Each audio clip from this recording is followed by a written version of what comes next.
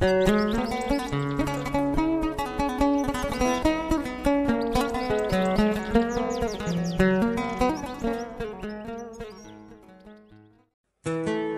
تنسى الاشتراك بالقناة وتفعيل الجرس ليصلك كل جديد في قناتنا.